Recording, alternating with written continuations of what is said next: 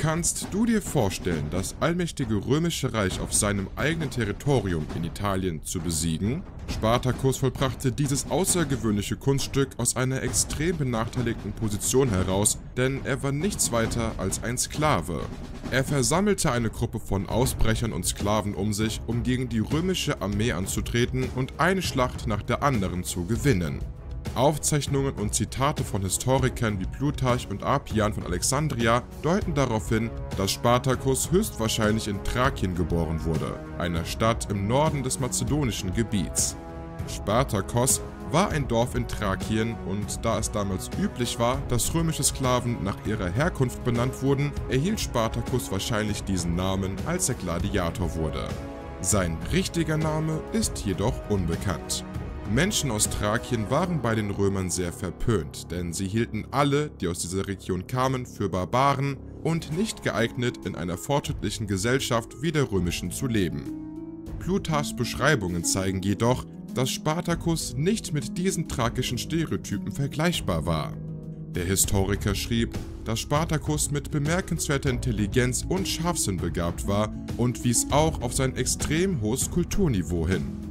In Plutarchs eigenen Worten, Spartacus war mehr Grieche als Thraker. Aber hier beginnt die Geschichte von Spartacus zu verschwimmen. Denn es gibt keine genauen und zuverlässigen Aufzeichnungen über sein Leben in Thrakien. Vermutlich begann er als Schafhirte, aber das war im alten Thrakien kein leichter Job. Er musste sich mit Wölfen, Bären und Banditen herumschlagen, was in ihm den Drang zum Kämpfen geweckt haben könnte. Spartacus wandte sich deshalb von seinen Tieren ab, um Soldat zu werden. Die Schriften von Apian von Alexandria liefern nur spärliche Informationen und besagen lediglich, dass Spartacus ein Thraker war, der irgendwann in seinem Leben gegen die Römer kämpfte und dann besiegt, gefangen genommen und in die Sklaverei verkauft wurde. Aus den Aufzeichnungen des Historikers Publius Anius Florus erfahren wir hingegen, dass Spartacus ursprünglich ein römischer Söldner war, der der Republik in einigen Legionen direkt als Hilfssoldat diente.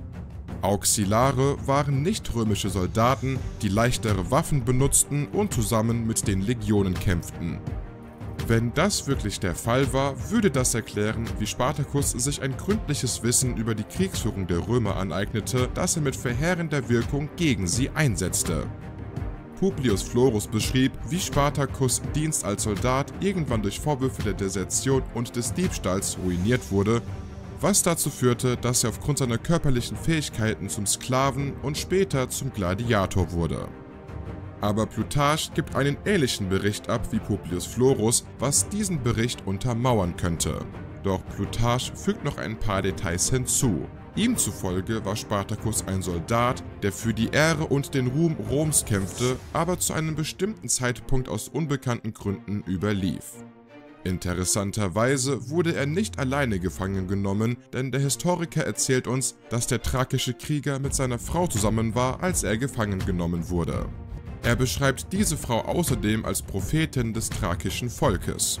Spartacus, der nun ein Sklave war, befand sich auf der untersten Stufe der römischen Gesellschaft, da Sklaven oft ein erbärmliches Leben führten. Die meisten dieser Menschen, die nach den Feldzügen im 2. und 1. Jahrhundert vor Christus nach Rom verschleppt wurden, waren für die römische Wirtschaft äußerst nützlich und wurden in der Landwirtschaft oder im Bergbau in Orten wie Sizilien und Süditalien eingesetzt.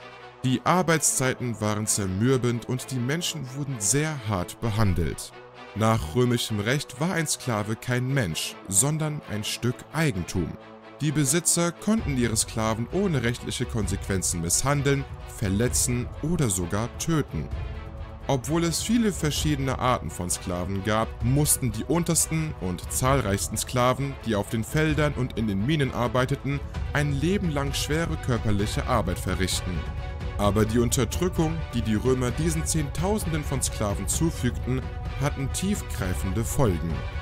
Zwischen 135 und 104 v. Chr. kam es in Rom wegen der Sklaven zu zwei großen Krisen. Es waren der erste und der zweite Sklavenkrieg, die sich hauptsächlich in Sizilien abspielten. Zehntausende von Sklaven waren des täglichen Leids und der ständigen Unterdrückung überdrüssig und nahmen den Kampf gegen die römische Macht auf sich. Sowohl der erste als auch der zweite Servilenkrieg war letztendlich erfolglos, da die Aufständischen zwar zahlreich, aber schlecht strukturiert waren und kaum Chancen auf einen Sieg hatten. Und obwohl die Aufstände der Römischen Republik Probleme bereiteten und es mehrere Jahre dauerte, bis sie endgültig niedergeschlagen wurden, sah der Senat diese Ereignisse nicht als Bedrohung an. Sie glaubten, dass eine professionelle und gut ausgebildete römische Armee niemals von einem Mob rebellischer Sklaven besiegt werden würde.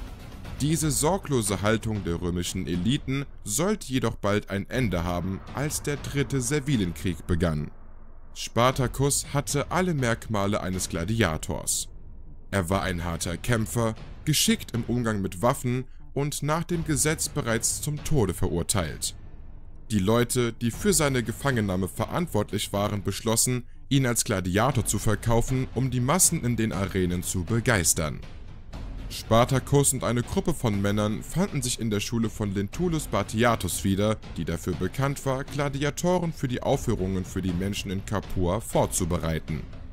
Lentulus Batiatus war ein bekannter Lanista, der für die Ausbildung von Gladiatoren für Arenenkämpfe zuständig war. Spartacus und seine Gefährten wurden einem strengen Training unterzogen, bei dem sie Kampftechniken lernten und ihre Fähigkeiten verbesserten. Doch Spartacus hatte viel größere Ambitionen, als einfach nur die Gladiatorenkämpfe zu überstehen.